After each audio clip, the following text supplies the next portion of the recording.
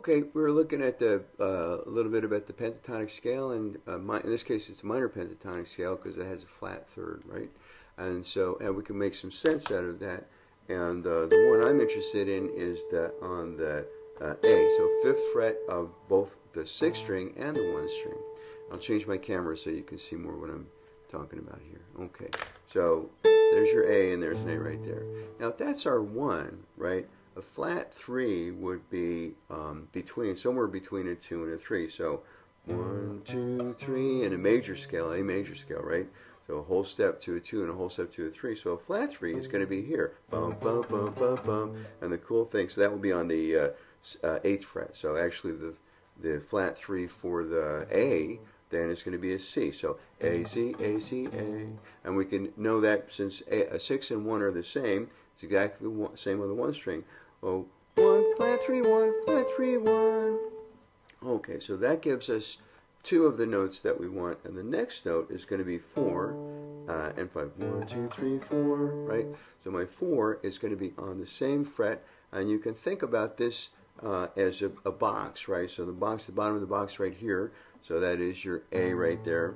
One, uh, two, three, or one, flat three, and four, of course, would be on the uh, fifth fret as well. So now we've got one, flat three, four, four, five, flat seven, one, which gives us our five note pentatonic scale. One, two, three, four, five. Those are the five notes. If we add in this guy, one, two, three, uh, one, uh, flat three, four, flat five, five. That also gives us our a blue note, which is the flat five. We can make good use out of that guy too. So uh, that was coming up. So one, flat three, four, uh, flat five, five, flat seven, one. Here now I've got two ones, and the same rule applies. If uh, wherever my uh, my one is on the sixth string, if I go two strings up and two frets back towards the body, that's an octave right there. So if my uh, one note is here on the A, well that's got to be an A right there too, on the seventh fret of the D string. That is in fact an A right there. And then I know that I've got another A here on the uh, fifth fret of the uh, of the one string. So I could play my, play my A note like this.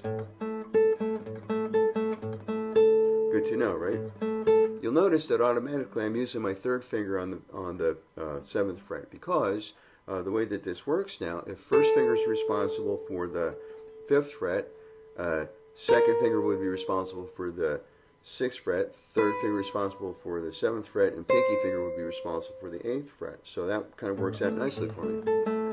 So I've got a one, flat three, four, five, flat seven, which is on the same row as your one is. So all those guys are lined up. One, four, and flat seven are all lined up there.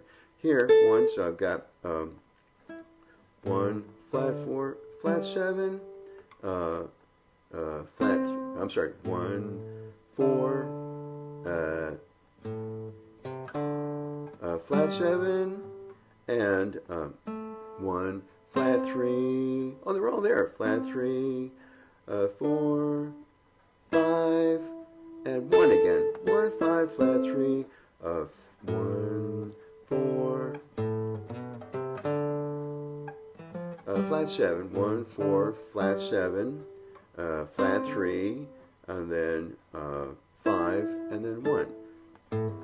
Kind of handy if you can remember them that way too, I guess. So one, um, on the all on the same fret here. One, and now I've got my uh, two flat three, four, right, and then my flat seven. So one, four, flat seven, flat three, five, and one. Oh man, check that out. Da, da, da, uh, so that works out nicely.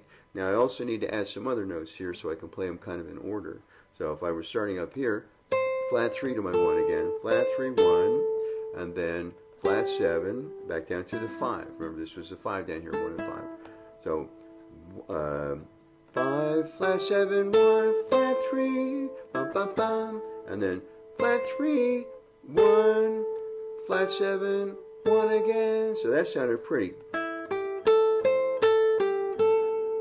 Uh, ain't no sunshine when she's gone. Pretty cool, right? So again, those notes are, uh, if we just look at the frets, uh, that would be fifth fret on the B string, eighth fret on the B string, fifth fret on the E string, eighth fret on the E string, fifth fret, uh, fifth fret on the E string, eighth fret on the B string, back to the fifth fret on the E string. Ain't no sunshine when she's gone. And the cool thing about that is now we understand the relationship of those notes. We can play that in any key that we want as long as we find the one. So here's my A right here. So that was in A, right? So now I'm going to go down to a G. That's on the third fret. So I want to play.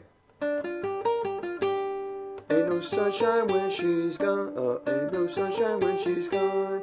And I could also do it in an F. No sunshine she's gone. Right? Any key that I want to, really, that I can play those those uh, those four notes. It's all the same. It's just changing the keys. So uh, now I can also play that because it's um, re remember this says one flat three four five, and I start on five. I go to flat seven. Oh, that's easy to do in the key of A. Look, check that out. So I'm on seven five seven five seven five seven. So you can essentially do it in two different places in the same uh, same position.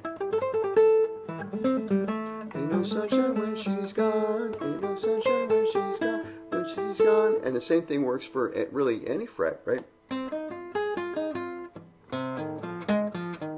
It's just playing it an octave below. I could play it here, here, uh, up here, and it's it's cool because um, it the because the way the neck of the guitar is made, it doesn't really matter, right? I hate to say it. Don't tell anybody I told you this. The notes are less important. The notes are important well, they're they're important certainly, but they're uh, less important than the um, than the intervals. That is the relationship between those notes, right? So if you know your intervals and you know that shape right there, and you know what you're looking for, uh, that little lick right there, bum bum bum bum bum bum bum, is is very common, and it's used in I don't know dozens and dozens of rock tunes and uh, and uh, blues tunes. So have some fun with that. It's basically five, right? Flat 7, wherever you happen to be, 5, flat 7, 1, flat 3, back down to the 1. Now here's the trick though. The 5 and the flat 7 are below the 1, right?